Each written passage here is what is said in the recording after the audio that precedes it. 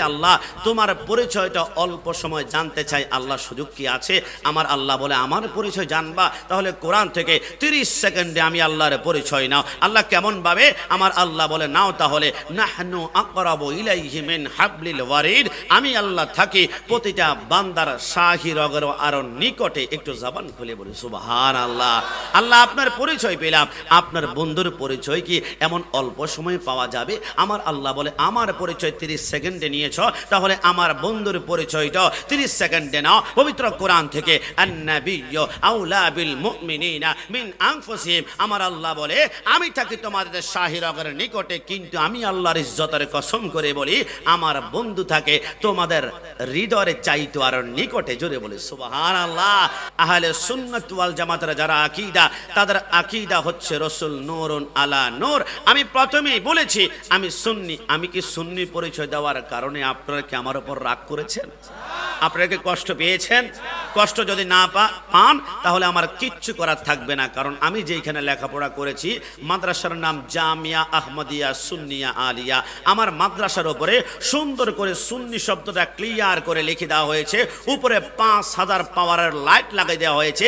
ভালো করে দেখো, এটা সুন্নি মাদ্রাসা। আমি আমার ওস্তাদকে জিজ্ঞাসা করলাম, হুজুর ডাইরেক্ট সুন্নি এরকম স্পষ্ট করে লিখে দিয়েছেন। কারণটাকে হুজুর বলে, বাবা, সুন্নি শব্দ লাগিয়ে দিয়েছি, কারণ আমরা বলতে চাই, এটা সুন্নি মাদ্রাসা। এইখানে কোনো গোস্তাক রসুলের জায়গা হয় না। এইখানে রসুলের সাথে যারা গাদ্দারি করে, এদের জায়গায় সুন্নি মাদ্রাসা হয় না। সুন্নি শব্দ লাগিয়ে দিয়েছি, এটা বোঝাতে চাচ্ছি যে আমরা এইখানে যারা লেখাপড়া করবে, তারা রসুলকে নূর মানতে হবে, হাজার নাজের মানতে হবে, এলমে গায়েবকে খাবার দেন ওয়ালা মানতে হবে। আরে ভাই, আমি শুধু জামের কথা বলছি না, একটু চোখ বন্ধ করে দেখুন তো, আপনার ডানে, আপনার বামে, আপনার সামনে, আপনার পিছনে হাজারো হাজারো এমন প্রতিষ্ঠান, সুন্নি প্রতিষ্ঠান আছে, সুন্নি ফাজিল মাদ্রাসা, সুন্নি আলিম মাদ্রাসা।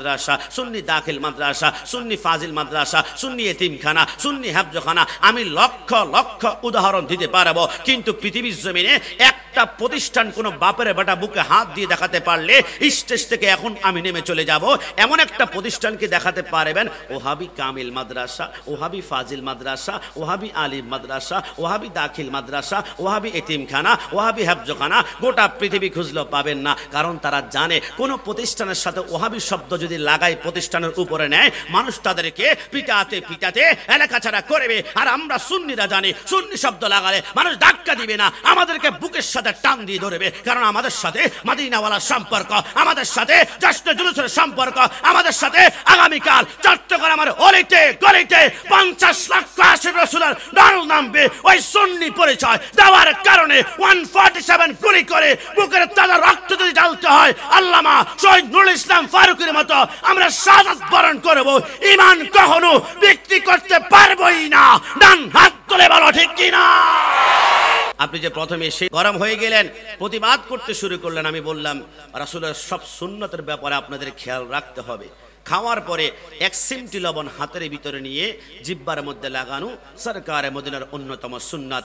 মাঝে মাঝে মধু পান করবেন রাসুল্লাহর সুন্নাত। মাঝে মাঝে বসে পানি পান করা রসুল্লাহ সুন্নত। আবার মাঝে মাঝে দাঁড়িয়ে ক্যাবলামুখী হয়ে জমজমের পানি দাঁড়িয়ে পান করা রাসুল্লাহর সুন্নাত। তবে আশ্চর্য হয়ে যাবেন, রসুলের অন্যতম একটি সুন্নত হচ্ছে বৃষ্টি যখন হবে, যখন ক্যাটস অ্যান্ড ডগ মুসুলধারে বৃষ্টি শুরু হবে, তখন ঘরের ভিতরে থেকে জানালার বাহিরে হাতটা বের করে বৃষ্টির ফোঁটাগুলো হাতের মধ্যে টপ টপ করে অনুভব করা, এটাও রসুল্লার একটা সুন্নাত। আবার মাঝে মাঝে কারোর সাথে কথা বলার সময় নরম নরম, বাতিলকে বোঝানোর সময় নরম নরম কথা বলা সুন্নাত। আবার রসুল শিক্ষা দিয়েছেন, উহুদের ময়দানে, বদরের ময়দানে তলোয়ার হাতের মধ্যে নিয়ে বলে, সিদ্দিক আকবর, আবু জাহেলকে যেইখানে পাবা, শরীর থেকে মাথা আলাদা করে ফেলবা। যেই রসুল বলেছেন, নরম কথা বলা সুন্নাত, আবার যখন ইসলাম আঘাত- আসবে রসুল্লার উপর আঘাত আসবে, মাঝে মাঝে প্রতিবাদ করে হুঙ্কার দাও রসুল্লার অন্যতম সুন্নাত, কোনো সন্দেহ আছে?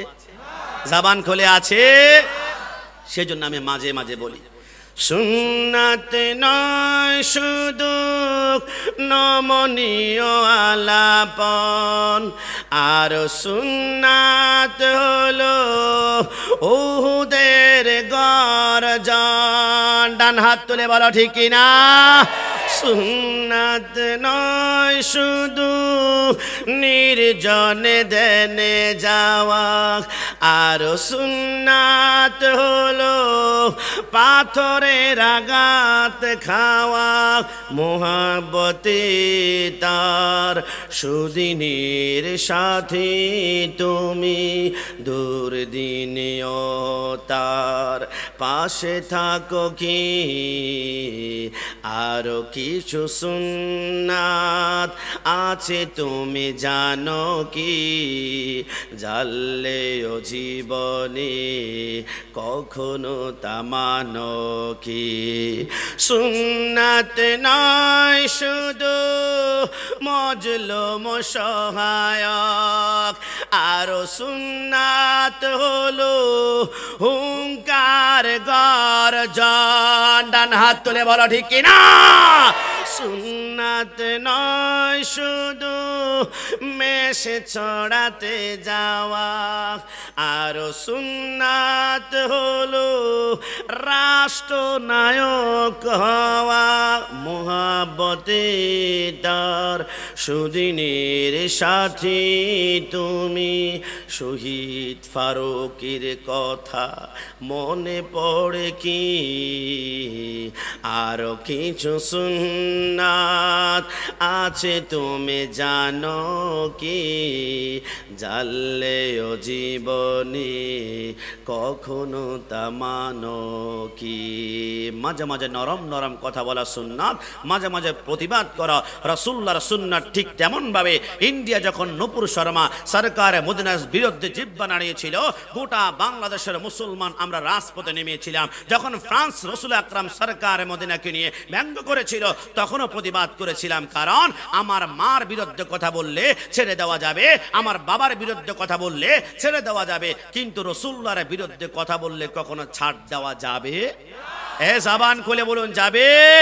ভগবান আল্লাহ আজকে রাত হচ্ছে বারে রবিল আব্বালের আগের দিন রাত। এই রাত মর্যাদাপূর্ণ রাত। এই রাতে আল্লাহ তোমার পরিচয়টা অল্প সময় জানতে চাই। আল্লাহ সুযোগ কি আছে? আমার আল্লাহ বলে, আমার পরিচয় জানবা? তাহলে কোরআন থেকে তিরিশ সেকেন্ডে আমি আল্লাহর পরিচয় নাও। আল্লাহ কেমন ভাবে আমার আল্লাহ বলে, নাও তাহলে। নাহনু মিন হাবলিল ওয়ারিদ। আমি আল্লাহ থাকি প্রতিটা বান্দার শাহি রগের আরও নিকটে। একটু জবান খুলে বলি সুবহান আল্লাহ আল্লাহ আপনার পরিচয় পেলাম।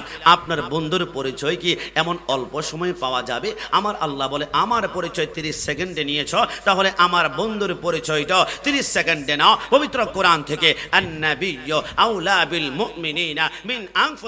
আমার আল্লাহ বলে, আমি থাকি তোমাদের শাহিরগের নিকটে, কিন্তু আমি আল্লাহর ইজ্জতের কসম করে বলি, আমার বন্ধু থাকে তোমাদের হৃদয়ের চাইতো আর নিকটে। জোরে বলি সুবহান আল্লাহ আল্লাহ, বুঝতে পারলাম না। আপনার পরিচয় দিলেন শাহিরগ আর বন্ধুকে ডাইরেক্ট কলিজা দিয়ে দিলেন, হাত দিয়ে দিলেন, হৃদয় দিয়ে দিলেন। আমার আল্লাহ বলে, তোমার শাহিরগ যদি খেটে যায়, তাহলে তুমি অপারেশন করে ঢাকা স্কোয়ার বলো, অ্যাপোলো বলো, ল্যাবেট বলো, বাংলাদেশে কাজ না হলে তুমি ইন্ডিয়ার মাদ্রাজে চলে যাবা। তোমার শাহী রক কেটে গেলে অপারেশন করে সুস্থ হওয়ার সুযোগ আছে। কিন্তু তোমার হৃদয়ে যদি একবার ধাক্কা লেগে যায়, আঘাত লেগে যায়, তুমি স্ট্রোক করবে, মৃত্যুবরণ করবে, তুমি আর বাঁচবে না। বান্দা এখনও বুঝো নাই, আমি আল্লাহর সাথে যদি গাদ্দারি করো, করার পরে তাহাজ্জুদের নামাজে বসে হাত তোলো, রব্বানা যালামনা আনফুসানা ওয়া ইল্লাম তাগফির লানা ওয়া তারহামনা লানাকুনান্না মিনাল খাসিরিন। চোখের পানি ছাড়া আমি আল্লাহ তোমাকে মাফ করে দেব মানে আমার সাথে গাদ্দারি করে ক্ষমা চাইলে তোমার ইমানটা বেঁচে যাওয়ার সম্ভাবনা রয়েছে। কিন্তু আমার বন্ধুর সাথে গাদ্দারি করলে তোমার হৃদয় ধাক্কা লাগবে। হৃদয় ধাক্কা লাগলে তুমি যেমন আর বাঁচবে না, হৃদয় আঘাত লাগলে তুমি যেমন মৃত্যুবরণ করবে, আমার নবীর সাথে গাদ্দারি করলে তোমার ইমান একটা সেকেন্ড সময় বাঁচবে না। এই কথার মধ্যে কোনো সন্দেহ আছে? এ জবান খুলে বলুন আছে।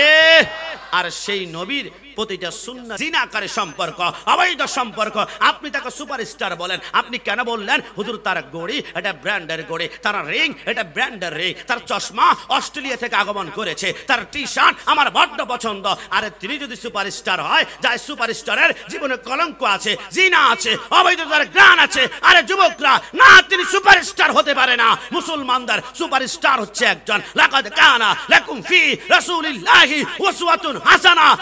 আপনার আমার সুপারস্টার হচ্ছে দু জাহানের বাদশা ডান হাত তুলে বলো, ঠিক কিনা?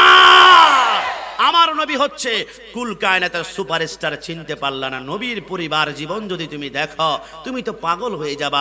আমার নবীর পারিবারিক জীবনে একজন স্ত্রীকে জীবনে নাখোশ করেন নাই, কষ্ট দেন না একটা হাদিস মোবারকা শুনলে আপনারা ভালো করে বুঝবেন, সরকারে মদিনা একদিন হুজরা মোবারকের মধ্যে বসে রইলেন। চারজন স্ত্রী একসাথে আসলো, ইয়া রাসূলুল্লাহ, কষ্ট নেবেন না। নবী একটু বলবেন, আমি আমাদের এই চারজন স্ত্রীর মধ্যে আপনি কাকে সবচেয়ে বেশি ভালোবাসেন? নবী আমার দয়াল নবী নবী আমার মায়ের নবী, উম্মতের কান্ডার নবী। আমার নবী একজনকে যদি বলে, আমি একে ভালোবাসি, আরেকজন কষ্ট পাবে। একে ভালোবাসি, অন্যজন কষ্ট পাবে। নবী আমার দুনিয়ার জমিনে যাররা পরিমাণ কাউকে কষ্ট দেয় নাই, দিতেই পারে না, কারণ তিনি হচ্ছেন রাহমাতুল্লিল আলামিন। সমস্ত সরকার মদিনার সামনে চারজন স্ত্রী যখন বলল, নবী, আপনি কাকে বেশি ভালোবাসেন? নবী আমার মুস্কি হেসে বলল, আগামীকাল সেম টাইমে তোমরা আমার সামনে আসবা, আমি তোমাদেরকে জানিয়ে দিব, আমি কাকে বেশি ভালোবাসি? চারজন স্ত্রী ঘরে চলে গেল। রাসূল সরকার মদিনা রাতের বেলায় চারজন স্ত্রীর প্রথম স্ত্রীর ঘরে গিয়ে বলল, হে আমার প্রিয়তমা, হে আমার সহধর্মিনী,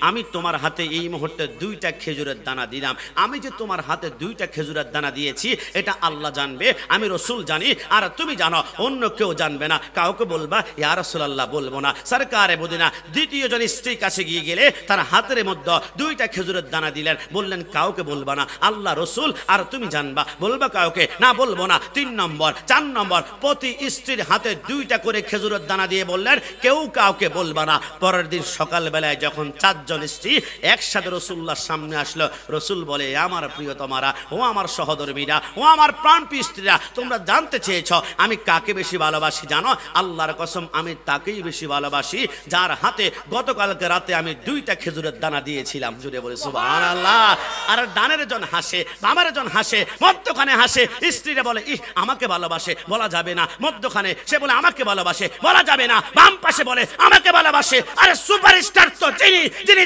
চারজন স্ত্রীকে একসাথে খুশি করতে পারে, রাজি করতে পারে, তোমার মতো বেয়া, অবৈধ সন্তান জন্ম দিয়ে বাংলাদেশের সুপারস্টার হতে পারে না। ডান হাত তুলে বলো, ঠিক কিনা? সাবধান, যুবকরা, জীবন পরিবর্তন করতে চাও। রসুল্লার প্রতিটা সুন্নাত তোমার কদমের নিচ থেকে মাথার তালু পর্যন্ত সুন্নতের লেবাস বানাও, আল্লাহর কসম। তোমার কবরটা যেমন আলোকিত হবে, চোখের পলকে পুলসেরাত পার হবে, জান্নাতের জিম্মাদার হবে, সরকারে মদিনা। একটু জবান খুলে বলে সুবাহ যুবক আমার পর্দানিসীন মা বন্যা অন্তরের কান লাগিয়ে শুনতে হবে। আল্লাহর নবী সরকার মদিনা সর্বকালের সর্বশ্রেষ্ঠ সুপারস্টার। এই কথা আমি আমার মুখ দিয়ে বানিয়ে বলতে চাই না। রসুল্লার হাদিস মোবারকা। আপনাদেরকে শোনালে আপনারা বুঝতে পারবেন, আমার নবী কেমন সুপারস্টার ছিল, যেই নবী এত স্টাইলি এত সুন্দর করে চলাফেরা করতেন। রসুল সরকার মদিনা সাল্লাল্লাহু আলাইহি ওয়াসাল্লাম যতবারে সামনের দিকে হাঁটতেন, সাহাবাই কারাম বলে আমরা অবাক হয়ে যেতাম, কেন জানো? আমরা দেখতাম রসোল্লার কোমরের ডান পাশে একটা কসমেটিক বক্স থাকতো সব সময় সরকারের মধ্যে ওই কসমেটিক বক্সের ভিতরে বিভিন্ন জিনিসগুলা বের করে নিজেকে ডেকোরেট করতেন, সুন্দর করতেন, সসজ্জিত করতেন। এই আমার পর্দানিসীন মা বোনরা, আমার যুবক ভাইয়ারা, সবাই আশ্চর্য হয়ে গেলেন। দুনিয়ার জমিনে কত কসমেটিক বক্স দেখলাম যুবক আমার। রসুল্লাহর আবার কসমেটিক বক্স আছে। এটা আবার কেমন কথা? আমার মা বোনরা তো হয়তো বা টেনশনে পড়ে গিয়েছে। দুনিয়ার জমিনের কসমেটিক বক্সের ভিতরে আমরা লিপস্টিক দেখেছি, আমরা আইব্রো দেখেছি, আমরা নেল পালিশ দেখেছি, আমরা কাজল দেখেছি, আমরা আইলাইনার দেখেছি, কিন্তু রসুল্লাহর কসমেটিক বক্সের ভিতরে একটা নয়, দুইটা নয় আমার নবী বলে। আমার কসমেটিক বক্সের ভিতরে মোট সব সময় পাঁচটা জিনিস থাকতে একটু জবান খুলে বলে সুবাহান আল্লাহ সাহাবাই কারাম বলে, ইয়া রাসূলুল্লাহ, আপনার কসমেটিক বক্সে যা আছে, এইগুলা তো আপনার রেগুলার ব্যবহার করেন, তাহলে আমরাও যদি ব্যবহার করতে পারি, এটা সুন্নত আদায় হয়ে যাবে। কারণ আপনি যা ব্যবহার করেন, ওইটা ফলো করে আমরা যদি ব্যবহার করে সুন্নতের সোয়াব পেয়ে যাব নবী, একটু দেখেন না, আপনার কসমেটিক বক্সের ভিতরে কি আছে? আমার নবী বলে, না না, দেখানো যাবে না। সিদ্দিক একবারে বলে, নবী আমার নবী আমার নবী আমার দেখ দেখান না, দুনিয়ার শুধু সুন্নতে মোবারকার আমল করতে চায় আমার নবী বলে, তাহলে সমস্ত সাহাবাই কারামদেরকে ডাক দাও। সমস্ত সাহাবাই কারাম যখন রসুল্লার সামনে আসলো, এবার সরকার মদিনা কসমেটিক বক্সটা যখন খুললেন, সিদ্দিক একবারে বলে কসমেটিক বক্সের প্রথম জিনিসটার দিকে তাকিয়ে আমি একটা মুসকি হাসি দিলাম। কিরে সিদ্দিক আকবর? ওই কসমেটিক বক্সের ভিতরে প্রথম জিনিসটার নাম কি সিদ্দিক আকবর বলে আল্লাহর কসম? কসমেটিক বক্সের প্রথম জিনিসের নাম হচ্ছে সেওয়াক। সেওয়াক শব্দের অর্থ হচ্ছে মেসওয়াক। একটু জবান খুলে বলে সুবাহান আল্লাহ আল্লাহর নবী বলে, সাহাবাই কারাম, এই যে মেসওয়াক তোমরা দেখতে পাচ্ছ, এটা সিম্পল কোনো সুন্নত নয়। আমি আল্লাহর ইজ্জতের কসম করে বলি, হাজরতে আদম থেকে শুরু করে ঈশ্বর রহুল্লাহ পর্যন্ত এক লক্ষ চব্বিশ হাজার পয়গাম্বর। প্রত্যেকেই মেসওয়াক করেছে। তোমরা যদি এক মিনিটে কেউ মেসওয়াক মেসওয়াকটা দাঁতের মধ্যে লাগিয়ে একবারে মেসওয়াক করো, এক মিনিটের ভিতরে এক লক্ষ চব্বিশ হাজার পয়গাম্বর সুন্নতের আমল নামা সোয়াব তোমার আমল নামায় চলে যাবে। জোরে বলে সোবাহান আল্লাহ আল্লাহর নবী বলে, হে পৃথিবীর মানুষ, দুনিয়ার জমিনে তোমার মুখের ভিতরে দুর্গন্ধ দুর্গন্ধ। কত ডেন্টালিস্টের কাছে গেলে মুখের দুর্গন্ধ ভালো করতে পারে না। আল্লাহর নবী বলে, তোমার মুখের ভিতরে দাঁতের ব্যথার কারণে তুমি খেতে পারো না। শীতকালে ঠান্ডা পানি মুখের ভিতরে নিলেই দাঁতগুলা শিন শিন শিন করে ব্যথা করে। আমার নবী বলে, আমি রসুল ওয়াদা করলাম, যেই ব্যক্তি পাঁচ ওয়াক্ত নামাজের পড়বে, পাঁচবার মেসওয়াক করবে, তার মুখে কোনোদিন দুর্গন্ধ বলবে না, আর তার মুখে ব্যথাও করবে না। জিম্মাদার হয়ে গেলাম, আমি স্বয়ং রাসুল্লাহ জোরে জোরে বলে সোবাহান আল্লাহ আমার নবী বলে সাহাবাই কারাম, আমার মেসওয়াক কত দামি। প্রত্যেক পয়গাম্বর ব্যবহার করেছে, তোমাদের বিশ্বাস হয় না, তাহলে তোমরা শুনিয়ে নাও। হাজরত আদম সবিউল্লাহ, তিনি যখন জান্নাতে ছিলেন, আদম সবিউল্লাহ, তিনি মেসওয়াক করতে লাগলেন। মেসওয়াক করতে করতে হঠাৎ করে এই যে গন্ধম ফল খেয়েছিল, ফল খাওয়ার কারণে জান্নাতের সমস্ত পোশাক তার বডি থেকে পড়ে যেতে লাগল। আমার আল্লাহ বলে, আদম, জান্নাতের কোন ইনস্ট্রুমেন্ট তোমাকে জান্নাত থেকে দুনিয়ার জমিনে নিতে দিব না, উলঙ্গ অবস্থায় চলে যাও। তবে তুমি যেহেতু মেসওয়াক করা অবস্থায় ছিলা, তোমার মেসওয়াকটা আমি কেড়ে নিব না।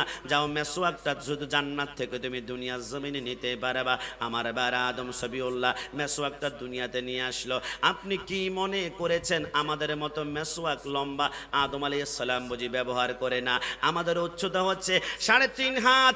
এই জন্য আমাদের মেসওয়াক হচ্ছে আমাদের হাতের এক বিঘি লম্বা। কিন্তু আদম সবিউল্লাহ ছিলেন একশো বিশ হাত লম্বা। একশো বিশ হাত লম্বা মানুষের মেসওয়াকটা কত লম্বা হবে, আমি আপনাদেরকে বোঝাতে পারব না। তবে একটা আইডিয়া দিয়েছেন হুজাতুল ইসলাম। ইমাম গাজ্জালি রহমতুল্লাহ তিনি বলে, আল্লাহর কসম, আদম সফিউল্লাহর মেসওয়াকটা কত লম্বা ছিল, তাহলে তোমরা শুনে নাও।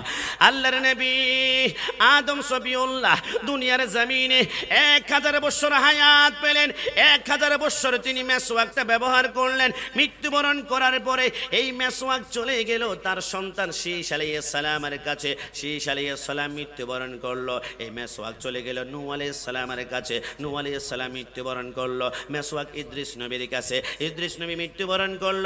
ইউনুস নবীর কাছে। সত্তর হাজার পয়গাম্বরের পরে মেসওয়াক চলে গেল হাজরাতে মুসা কালিমুল্লার কাছে। বাবা, আমরা সব সময় শুনেছি মুসা কালিমুল্লার হাতে দশ হাত লম্বা একটা লাঠি ছিল, যেটা মাটির মধ্যে ফেলার সাথে সাথে বড় একটি সাপ হয়ে যেত। আল্লাহর কসম করে বলি, মৌসা মুসা আলাইহিসসালামের হাতে দশ সাত লম্বা লাঠিতে ছিল। আদম সফিউল্লাহর জান্নাতের মেসওয়াক জোরে বলে সুবাহান আল্লাহ চিৎকার মেরে বলে সুবাহান আল্লাহ সাগর নদী আর পাহাড় বনে। পাখিদের গুন গুন গুঞ্জরনে বেশি আসে ওই সমুদর তান। চারিদিকে শুধু আল্লাহর জয়গান। আল্লাহ মহান আল্লাহ মহান আল্লাহ মহান আল্লাহ মহান। কষ্ট হচ্ছে আপনাদের? সমস্যা হচ্ছে? তো বলুন না। আল্লাহ মহান আল্লাহ মহান আল্লাহ মহান আল্লাহ মহান। শুনো তুমি মন দিয়ে কুকিলের সুর শুনতে লাগছে, দেখো কত না মধুর। মিষ্টি মিষ্টি ওই দোয়েলের গান। রয়েছে তাগাতে কি সুধা পুরাণ। কোথা পেল তাগারাই সুরমলান জবাব আসবে দিল খোদা মহিয়ান। আল্লাহ মহান আল্লাহ মহান, আল্লাহ মহান আল্লাহ মহান আল্লাহ মহান আল্লাহ আল্লাহ মহান আল্লাহ মহান। সাগর আর পাহাড় বনে পাখিদের গুন গুন গুঞ্জরনে ভেসে আসে ওই সমুদর তান। চারিদিকে শুধু আল্লাহর জয়গান। আরে যুবক আমার পর্দানি সিনমা বন্ডা আল্লাহর নবী সরকারে মদিনা বলে, বেশি বেশি তোমরা মেসোয়াক করো, কারণ আমি রসুল্লাহর জীবনের সর্বশেষ আমলের নাম ছিল মেসোয়াক। ইয়া রসুল্লাহ বুঝতে পারলাম না। আমার নবী বলে, আমার ডান পাশে যখন আজরাইল চলে আসলো পাগুলা জমিনে মাথাটা আসমানে নবী আমারে বলে হজরতে আয়সা সিদ্দিকা, আমার এই মুহূর্তে একটু মেসোয়াক করতে মন চাই, তুমি কি আমাকে একটু মেসোয়াকটা দিবা? হজরত আয়সা সিদ্দিকা বলে রসুল্লার এই কথা শুনে মেসোয়াকটা হাতের মধ্যে নিয়ে, আমি রসুল্লাহর সামনে এসে বললাম, ইয়া রাসূলুল্লাহ এই দিন মেসোয়াক করেন। আমার রসুল্লাহ মেসোয়াক দাঁতের মধ্যখানে নিয়ে যখন কামড়িয়ে নরম করতে চাইবে, কারণ মেসোয়াক যখন শুকিয়ে যায়, এটি একটু হার্ড হয়ে যায়, একটু শক্ত হয়ে যায়। আমার নবী যখন মেসোয়াকটা কামড়াতে চাইলেন, দুর্বলতার কারণে কামড়াতে পারছেন না। হঠাৎ করে মায়েশা সিদ্দিকে বলে নবী, আপনি যদি কষ্ট না নেন, তাহলে মেসোয়াকটা আমি একটু কামড়ি নরম করে দেয় আমার নবী বলে, নাও। আয়সা সিদ্দিকা মুখের ভিতরে মেসোয়াকটা ঢুকিয়ে, এবারে যখন কামড়িয়ে নরম করলেন হাজরত আয়সা সিদ্দিকা বলে, আমি হঠাৎ করে মনে পড়ল, আমার মুখের দুর্গন্ধ রয়েছে। আমি যতক্ষণ কামড়িয়েছি, আমার মুখের দুর্গন্ধ রহমতুল্লিল আলমিনের মুখের ভিতরে যাবে, এটা আমি বরদাস্ত করতে পারি না। এরে আমার পর্দা নিশিন মা বোনেরা, স্বামী স্ত্রীর প্রতি মোহাব্বত কীভাবে তৈরি করতে হয়? আমার রসুলের জিন্দিগিকে ফলো করো। হাজরত আয়সা সিদ্দিকা বলে, আমি মেসোয়াক কামড়িয়ে দুর্গন্ধ বলবে, বিদায়। আমি গ্লাসের ভিতরে পানি নিয়ে, আমি মেসোয়াকটা যখন ধুইতে লাগলাম, হঠাৎ করে আল্লাহর নবী বলে, কিরে আয়সা তুমি কি করো? ইয়া রাসূলুল্লাহ, আমার মুখের দুর্গন্ধ আপনার মুখে যাবে এই জন্য পানি দিয়ে মেসোয়াকটা আমি একটু ধুয়ে নিচ্ছি। আমার নবী বলে আয়সা না আয়সা না, তুমি তোমার কাছে তোমার মুখের দুর্গন্ধ কইতে পারে কিন্তু তোমার মুখের দুর্গন্ধ আমি রসুল্লাহর কাছে মেশকো আম্বরের চাইতো সুগ্রান্তর মনে হয়, জোরে বলে, সুবহানাল্লাহ। আমার নবী শিক্ষা দিয়েছেন। কোন স্ত্রীর মুখের গন্ধ, না দুর্গন্ধ বলবে না। করোনা ভাইরাসের কারণে আজকে আমাদের প্লেট আলাদা হয়ে গিয়েছে। স্বামীর গ্লাস আলাদা, স্ত্রীর গ্লাস আলাদা, কিন্তু রসোল্লার মোহাব্বতের বাণী আপনি শুনলে পাগল হয়ে যাবেন। আল্লাহর হাবিব সরকারে মদিনা সাল্লাল্লাহু আলাইহি ওয়াসাল্লাম স্ত্রীর সাথে কেমন সুন্দর মধুর মোহাব্বত তৈরি করত। হযরত আয়েশা সিদ্দিকা বলে, আমি একদিন পানি পান করলাম। পানি পান করার পরে আমি খালি গ্লাসটা টেবিলের উপর রেখে আমি এবার পর্দার আড়াল হয়ে গেলাম। হঠাৎ করে দেখলাম রসুল্লাহ ঘরের ভিতরে প্রবেশ করল। আমি পর্দার আড়াল থেকে রসুল্লাহর সাথে একটু খুনসুটি করছি, একটু খেলাধুলা দুষ্টামি করছিলাম। আমি দেখলাম রসুল্লাহ টেবিলের উপরে গ্লাসটা হাতের মধ্যে নিয়ে গ্লাসের ভিতরে পানি ডাললো পানি ডালার পরে আমি দেখলাম রসুল্লাহ গ্লাসটা মুখের সামনে নিল। আমি মনে করেছিলাম পানিটা এখন পান করে ফেলবে, কিন্তু না না রসুল্লাহ পান করছেন না। সামাইলের ত্রিবিজের মধ্যে লেখে, আল্লাহর নবী, ওই পানি ভর্তি গ্লাসটা মুখের সামনে নেওয়ার পরে শুধু গ্লাসটা শুধু ঘুরাচ্ছেন, শুধুই কেবল ঘুরাচ্ছেন, শুধুই কেবল ঘুরাচ্ছেন। হাজরতে আয়সা সিদ্দিকা বলে, আমি পাগল পারা হয়ে যাই কিরে, গ্লাস ঘুরাচ্ছেই কেন, পানি কেন পান করে না? আয়সা সিদ্দিকা বলে, আমি দেখলাম রসুল্লাহ কিছুক্ষণ গ্লাসটা ঘুরানোর পরে গ্লাসের নির্দিষ্ট একটা জায়গার মধ্যে এসে রসুল একটা মুস্কি হাসি দিল। আমি আয়সার বুঝতে বাকি রইল না, আল্লাহর কসম। রসুল্লাহ তখন খুঁজছিলেন, আমি আয়সা কোন জায়গায় ঠোঁট, কোন জায়গার মধ্যে মধ্যে ঠোঁট লাগিয়ে পানি পান করেছিলাম। আমার রসুল সেই জায়গাটাই খুঁজছিলেন আর সেই জায়গার মধ্যে ঠোঁট লাগিয়ে পানি পান করতে আমার রসুল পছন্দ করতেন। জোরে বলে সোবাহান আল্লাহ আরে যুবক আমার, পর্দানি সিনমা বন্ডা আমার সরকারে মদিনার সুন্নতে মুবারক ফলো করো।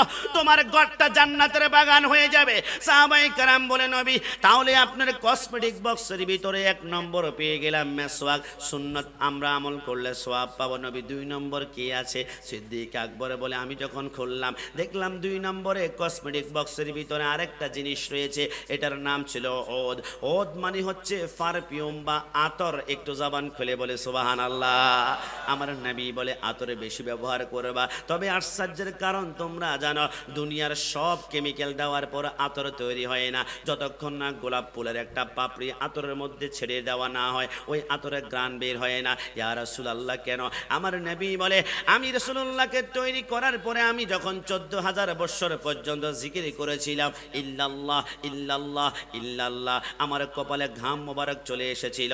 আমি হাত দিয়ে গাম মোবারক যখন টান দিলাম, এক ফোঁটা গাম জমিনের মধ্যে পড়ার সাথে সাথে গোলাপ ফুলের একটা পাতা এসে ওই গামটাকে চুমা দিল।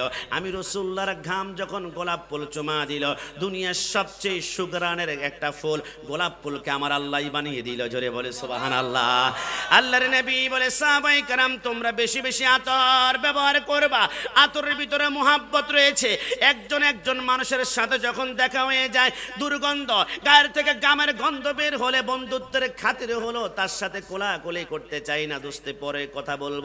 এখন আমার সময় নাই, আমাকে তাড়াতাড়ি চলে যেতে হবে। কিন্তু গায়ের মধ্যে যখন একটু পারফিউম একটু আতর আপনি লাগাবেন, আপনার বন্ধু হ্যান্ডশেক করার পরে মোসাবা করার পরে, মন চাইবে একটা কোলাকুলি দেখান রসুল্লার সুন্নত আপনার গায়ের লেবাস আপনি বানিয়ে নিয়েছেন। আল্লাহর নবী সাহাবাই কারাম বলে, আমরা সচককে দেখেছি আল্লাহর নবী, যতবার যতবার গদ থেকে বের হতেন, আল্লাহর নবীর বাবরি চুলগুলোকে দুইটা ভাগ করতেন, ডান পাশে এক ভাগ আর বাম পাশে অন্য ভাগ করার পরে রসুল্লাহ বাবরি চুলের মধ্যখানে কিছু আতর ঢেলে দিতেন। আর রসুল্লাহ গদ থেকে বের হওয়ার পরে যেই জায়গায় নামাজ পড়তেন, ওই সেই তার জায়গাতে যদি এক ফোঁটা আতর লাগতো, খোদার কসম, চল্লিশ দিন পর্যন্ত সেইখান থেকে মিসকাম্বরে গ্রান বের হতে। জোরে বলে সোহান আল্লাহ আমার নবী বলে, সাহাবাই কারাম বলে, নবী, তিন নম্বর কি আছে? এক নম্বর মেসোয়াক পেলাম, দুই নম্বরে আতরে পেলাম। আমার নবী বলে, তিন নম্বরে রয়েছে, ওয়া জাইতুন, জাইতুনের তেল। এটা সোয়াবিন তেল নয়, সরিষার তেল নয়, বর্তমানে বাজারে অলিভ অয়েল নামে একটা তেল পাওয়া যায়, এটা খাওয়া যায়, এটা মাথায় দেওয়া যায়, এটা দাঁড়িতে দেওয়া যায়, এটা গায়ের মধ্যে দেওয়া যায়। আমার নবী অলিভ অয়েল ব্যবহার করো রসুল্লার সুন্নাত। ইয়া রাসূলুল্লাহ, চার নম্বর কি আছে নবী আমার বলে? তাখলিল, এটার নাম হচ্ছে খিলাল। ইয়া রাসূলুল্লাহ, খিলাল কেন? আল্লাহর নবী সরকারে মদিনা বলে, তুমি খাওয়া দাওয়া করলা তোমার মুখের ভিতরে, মাছের মাংস আটকে রইল গোস্তের মাংস আটকে রইল, অথবা যে কোনো ভাত যখন আটকে থাকে, বারো ঘণ্টার উপরে এই ভাতটা যদি দাঁতের মধ্যখানে আটকে থাকে, কে ব্যাকটেরিয়া তোমাকে আক্রমণ করে, তোমার দাঁতটাকে নষ্ট করে ফেলবে, তোমার দাঁতের ভিতরে ব্যথা তৈরি করবে, তুমি একটা খিলাল রাখো যখন ওই মাছ গোস্তটা বের করে ফেলবে, তুমি সুস্থ থাকবে, কারণ নবী হচ্ছে সমস্ত বৈজ্ঞানিক দ্বারা মহাবাফ ডান হাত তুলে বলো ঠিক কিনা? আরে যুবক আমার সাবাই কারাম বলে, নবী আমার! চার নম্বর পাঁচ নম্বরে কি আছে? আমার নবী বলে কসমেটিক বক্সের ভিতরে এক নম্বরে গেলে মেসওয়াক, দুই নম্বরে গেলে আতর, তিন নম্বরে গেলে জাইতুনের তেল, চার নম্বরে গেল তাকলিল খিলাল, আর পাঁচ নম্বরে আমার কসমেটিক বক্সের ভিতরে সর্বশেষ যে জিনিসটা আছে, এটার নাম হচ্ছে চিরনি চিরনি চিরনি। একটু জবান খোলে বলে সুবাহান আল্লাহ আল্লাহর নবী বলে, চিরুনি দিয়ে তুমি দাঁড়িয়ে আশ্রাও মাথার চুল আশ্রাও যতক্ষণ পর্যন্ত চিরুনির বাঁশটা তোমার দাঁড়ির মধ্যে মাথার মধ্যে থাকবে। অতক্ষণ পর্যন্ত ফেরেস তারা তোমার দাঁড়িয়ে নিয়ে খেলাধুলা করে একটু জবান খুলে বলে সোবাহান আল্লাহ তুমি নবীর মত দাবি কর, সুন্না মানো না। নবীর অপ মানে তোমার হৃদয় কাঁদে না। হাত তুলে বলো, ঠিক না তুমি নবীর মত দাবি কর সুন্না মানো না। নবীর অপ মানে তোমার হৃদয় কাঁদে না। তুমি বিজাতীয় সংস্কৃতিতে সোপেছ পরাণ। তুমি হদিদের টাকার কাছে বেছেছ ইমান। তুমি কেমন মুসলমান? তুমি কেমন মুসলমান? বলো না, তুমি কেমন মুসলমান? তুমি কেমন মুসলমান? তুমি কেমন মুসলমান? তুমি কেমন মুসলমান। তুমি সুদের টাকায় প্রাসাদ গড়, ঘোষ ছাড়ো না। দিন দক্ষিণা খেয়ে মরে খবর রাখো না। ডান হাত তুলে বলো, ঠিক কিনা তুমি সুদের টাকায় প্রাসাদ গড়, ঘোষ ছাড়ো না। দিন দক্ষিণা খেয়ে মরে খবর রাখো না। তুমি খেয়ে অবিচার কর, সাজিয়া প্রদান। তুমি কেমন মুসলমান? তুমি কেমন মুসল বলো না, তুমি কেমন মুসলমান? তুমি কেমন মুসলমান? নামাজের সাথে নাই পরিচয়, নামাজের সাথে নাই পরিচয়, মানো না কোরআন। তুমি কেমন মুসলমান তুমি কেমন মুসলমান?